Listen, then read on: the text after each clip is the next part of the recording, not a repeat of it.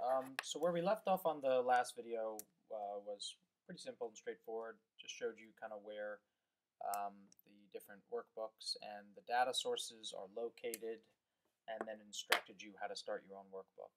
So we'd be sort of in a, a template like this, and some of you may know Tableau, so this, you know, you skip through this, you may not necessarily um, need to care, but it, you know, there appears that there's a ton going on, and know, in a, in a way, it's sort of like Excel in, in that there is, right? There's a ton you can do here, um, but there are a couple of basic principles that'll at least help you get started. So, you know, when I was learning, um, you know, if we move from left to right, we can talk about the, the, the most important things, and then we'll, we'll go through a couple of basic examples.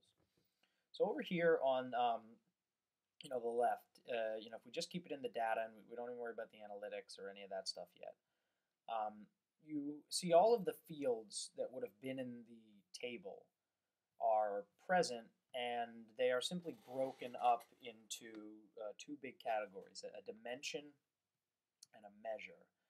Um, you know, a dimension would be best thought of, you know, for those of you that, that have some familiarity with data structure, they're, they're either going to be nominal or categorical variables. So this would be like the name of something or its classification or let's say maybe you have like a number that's standing in for something like 1, 2, 3, 4 and it's nominal. That's what would be here. They're called dimensions because they're, they're literally meant to kind of partition out uh, our graphs and our visualizations and we'll show in a second. So this is what, you know, you may want to see a comparison between the Carnegie classification and whether something has an open admissions policy. Right? These are the categorical variables that you drag in. The others are the measures, so the integers uh, or the or the floats, uh, you know, the currencies or or the percentages, um, you know, the things that we can do basic arithmetic to. And you know, the IPEDS data set has a ton of these in here, um, you know, so it gives us a, a nice amount to work with uh, as well. Um, you know, we're not gonna uh, do it just yet, but there's there's ways you can also you know go and you can move between the two. Like a common one we'll play with in a little bit is like right now I just have institution's name. I could actually come here and make this uh, a measure, right? I could convert it to a measure, and then it would move from just being like the name of an institution, you know, right? If I drag the name of an institution here, um, you know, you'll see all of their names and it's waiting for more information. But it could move from a name of an institution to maybe counting the number of institutions, because that in its own way is a cool measurement, right? How many discrete institutions do I have? So I don't want to get into the, the particulars of that yet, but again, just remember that they are also interchangeable. You can take a measure and make it more kind of categorical, right? Maybe if you had a, a score here between 1 and 10, and rather than treating that like a continuous variable, you wanted it to be categories. 1 was good, 2 was better, 3 was best, or something. And then same thing here, you can take something that's a dimension and try to get the unique number and move it into a measure. So moving on over, um, you know, it's structured, you know, somewhat similar with, with some definite exceptions, but somewhat similar to how we would do a pivot table. Ultimately, you're going to have some rows and some columns where you're depicting information. You have the ability to filter, right? You can drag uh, items in here and turn certain values on or off. Um, and, but the two big areas that are really different are, are kind of here and here. And, um, you know, they're talk about them in the abstract now, but it'll hopefully become clear when I start showing examples. Uh, the sheet is really where your visualizations are going to appear. These are what's going to show up in real time every time you modify your inputs. And then marks, you're going to see there's times when you're creating a scatter plot or a pie chart or a map or anything that you're going to have multiple variables on it. And this is what allows you to sort of like go in and make them a little bit more dynamic. So they're not necessarily just showing two things. Maybe you're showing something in rows and columns, but you have a third variable that's coloring something up, or a fourth variable that's sizing it, or a fifth variable that's labeling, or you just want it to be a detail that would happen when somebody clicks on it. That's what a mark is. And then kind of the final big thing you should really know about is, is here, the show me. Um, you know, this is the primary visualizations that you can create standard and they each sort of tell you what you need and beyond that you know there's only so much that I know about Tableau already, and I'll, keep posting more content as I get better at it. But there's a whole user community out there, right? So if you really are interested in taking tree maps to the next level, just Google Tableau Online tree maps, and you'll get some nice instructions and some nice tips from people. But at the basically is what these are telling you here is that in order to be created, I need a dimension or at least one or two measures. To make me, you need a dimension and a measure. To make me, you need a measure that's in a bin field, right? Anyone who's ever done a histogram, right? You depict it based on like all your values based on little category bins, you know, from X to Y, Y to Z, and so on and so forth. So let's just stop talking about it and actually, you know, kind of play around here. So, you know, maybe let's start simple and we look through our dimensions and we see we have a field here that says if something's in HCBU and let's drag that up to the row just to see what happens. So we drag it up and there it's depicting itself here. We have two values there, um, you know, yes or no. I can sort them if I want to right here. It's not going to do too much except sort them up and down, but that's how we would start.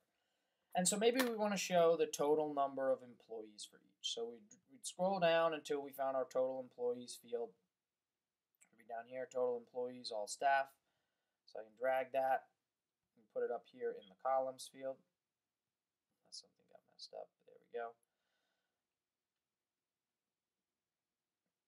Give it its second to load, and there you go. Now Tableau has chosen what it thinks is the best graph for you. It says uh, this works, so I'm going to give you a um, um, like a recommended bar chart, and there it is. It shows you the total staff and the total employees. But you have control, right? You can come up and, and choose to click one of these if you'd rather just view it as a text-based table. And then again, given the, uh, the slowness or quickness of the internet that day, uh, it'll load it for you. So the other uh, cool thing to notice, um, you know, notice when I did this, when I took it away from the graph, uh, and I went to more of like a tabular thing, it moved it down here into marks. Um, you know, so that actually means I can treat it like text as it is now, or I could change it. I could say, no, you're a color. And if I made you a color, you switch, and no longer are you showing your text. In fact, you're using a color to talk about what you are. Or I could use a size to show what you are. And again, it would change and, and, and modify a size, right? Tiny versus uh, versus big. So, uh, you know, I don't want to focus on that too much now because we'll, we'll get into better ways to use marks later, but I just wanted to kind of give you a, a heads up of what it was. The real important thing there to notice is that Tableau is um, it's, it's dynamic and smart, so it's trying to assist with what it thinks you want. And this is what we wanted, right? We wanted the total number of employees, but just remember, think how that data is actually organized in the table. It would have been, you know, 3,000 rows, and one of those rows or one of those columns would have had a yes or a no for an HCBU, and the other one would have had the actual individual number of employees um, per university. But this actually made it a sum. We didn't do anything, we just dragged it in and we made it a sum. And the reason that is is because we're set up over here, if my analysis is going to work, which it doesn't appear like it wants to, there we go. So if I click on analysis, wait. you can see I've got aggregate measures picked up. It's usually good to leave this on. Um, in a later video, we'll talk about why you turn it off. But what this essentially means is that when you drag in a measure, it's going to do an aggregation on them so that you can get what you would in a pivot table, like a sum or, or whatnot. And you control that, right? You can click on it. And, you know, I'm, whenever I'm teaching students GIS or anyone anything, I think the, the best thing to get you good with, with Tableau or, or anything is just click like a like a mad person. You know, anytime you see the option to click on something, do it and see all of the new stuff you can do. Oh, I can format this. So maybe you look like a currency, even though I know that this is number of students, right? We could format it any way we want so it comes up to us. Oh, there's that interesting point I mentioned earlier that we're not going to dive too deep into, but you could turn this into like a dimension. It could be like, a, you know, discrete numbers. Um, or you can come down here where it says measure and see there's different types of calculations. The same way you do a pivot table. So now I could be showing the average number uh, that are in an HCBU. Now I could be showing, um, you know, the maximum or the minimum or the percentile or any of the calculations uh, that you might want to get into. So we can just leave average for now. And you know, then you can keep building on this, right? So we've got one row here, but maybe now we want to drag another one in. So we'll drag control type, which I think is if something's public or private, and we can put it up in the columns. And create ourselves a little grid here where now we have like an HCBU on on the um, you know the north south, and then a, a control type on the on the east west.